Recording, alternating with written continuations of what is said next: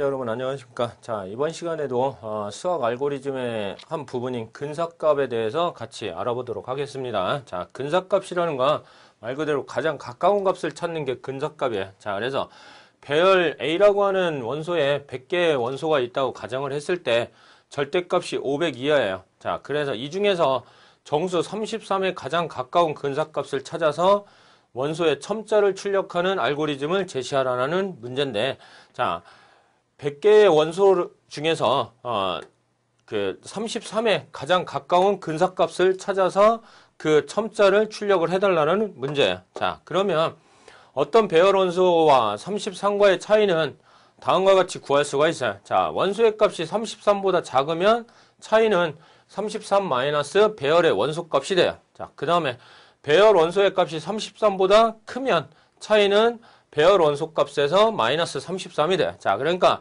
작을 경우에는 어, 33에서 배열 원소 값을 마이너스를 해주시면 되고 클 경우에는 배열 원소 값에서 근사값인 33을 마이너스를 해주시면 돼요. 자, 그 다음에 배열 원소와 33과의 차이에 대한 초기 값으로 다음과 같이 설정을 해보시면 돼요.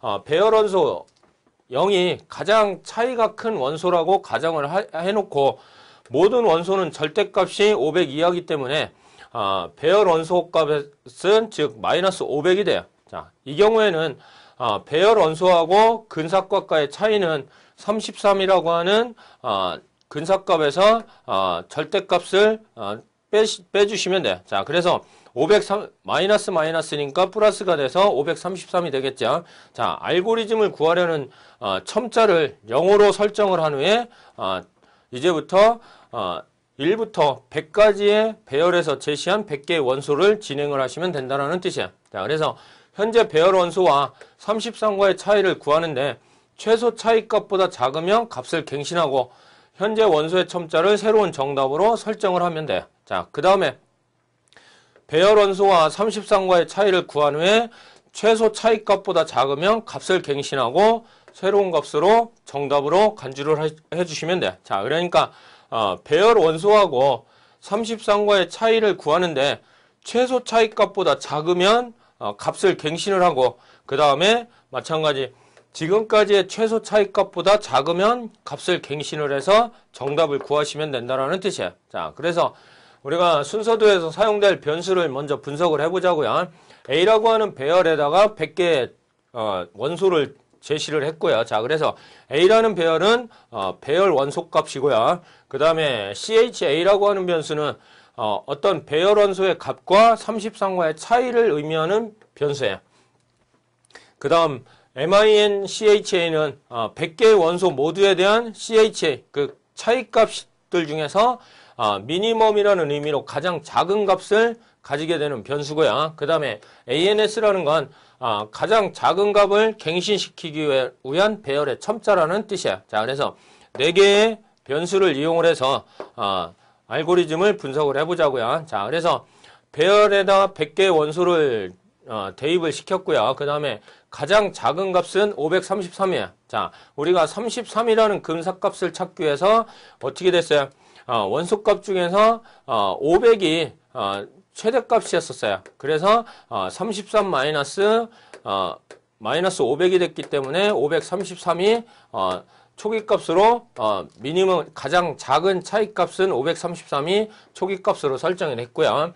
그 다음에 n은 0, 그 다음에 ans라는 것은 다시 n이라는 값으로 설정을 했어요. 자, 그러니까 n이라는 변수는 배열 첨자의 초기값을 0으로 잡아준 거예요. 0으로 잡기 위해서 일단 0이 어, 33과 가장 근사한 근사값이라는 의미로 0으로 설정을 해준 거고요. 그 다음 n 플러스 1을 한 거는 배열 요소가 100개가 제시가 됐으니까 어, 0번 0에서 1이 증가됐으니까 100개 원수 중에서 첫 번째 값을 가지고 어, 비교를 하겠다라는 뜻이야. 자, 그래서 첫 번째 값이 33보다 크거나 같으면 어떻게 돼요? 갱신을 하시면 되고 그렇지 않을 경우에는 어, 뺄셈을 해주시면 돼. 자, 그래서 차이값을 어, 배열 원소값에서 근사값을 뺀다든지 어, 이 조건이 만족하지 않을 경우에는 어, 근사값에서 배열 원소값을 빼주시면 된다는 뜻이야. 자, 그래서 우리가 문제 분석에서 규칙에서 봤던 방법을 그대로 적용을 시키시면 된다라는 뜻이에요. 자, 그래서 어, 어떤 배열 원소에서 어, 작으면 어, 근사값에서 원소값을 빼주시면 되고 크면 배열 원소값에서 어, 근사값을 빼주시면 된다라는 뜻이에요. 자, 그래서 순서도를 보면 이 부분이 어, 차이값이 작을 경우에는 어, 배열 원소값에서 어, 근사값을 빼주시면 되는 거고 차이값이 클 경우에는 즉요 조건을 만족하지 않을 경우 즉 배열 원소값이 33보다 작을 경우에는 어떻게 돼요? 근사값에서 배열 원소값을 빼주시면 된다라는 뜻이에요. 자 그래서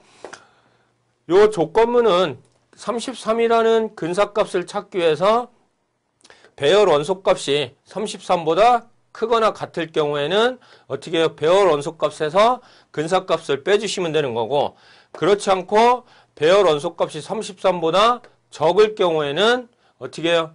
어, 근사값에서 배열 원소값을 빼주시면 된다는 뜻이야. 자, 그래서 요 조건문은 어, 근사값이 이상인지 아닌지를 판별하기 위한 조건문이고요.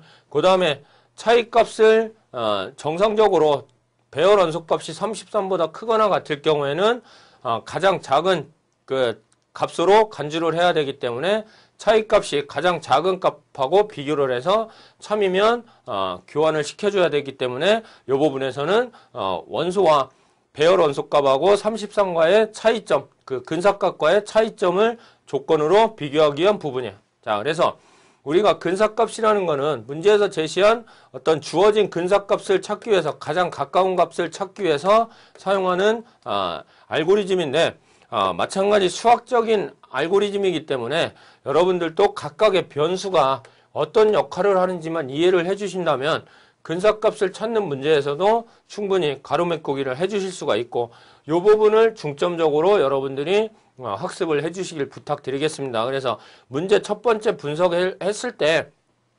근사값보다 크냐 작으냐에 따라서 각각 아, 배열 요소에서 마이너스를 하느냐 아니면 근사값에서 마이너스를 하느냐로 나뉘어지는 부분이기 때문에 이 부분이 어, 잘못 판단되시면 전체가 틀어지기 때문에 이 부분만 정확하게 판단해 주시면 나머지 부분은 쉽게 구하실 수가 있어요.